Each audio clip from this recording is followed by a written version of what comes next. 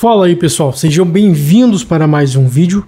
Como bloquear um contato no iPhone? Beleza? Você tá ali com um contato. Tem uma pessoa que você tem ela no contato, né? O número dela tá salvo no seu celular Só que ela tá muito chata e você quer bloquear aquela pessoa para que você não receba mais chamadas, ligações daquela pessoa. Então eu vou estar tá mostrando para vocês aqui como que você bloqueia esse contato no seu iPhone. Então vamos lá, você vai estar tá aprendendo agora você vai abrir aqui o seu telefone, certo? Um menuzinho telefone onde você faz as suas chamadas normais.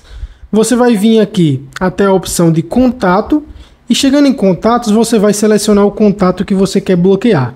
Aqui eu já selecionei esse aqui e aqui para você bloquear esse contato é muito simples.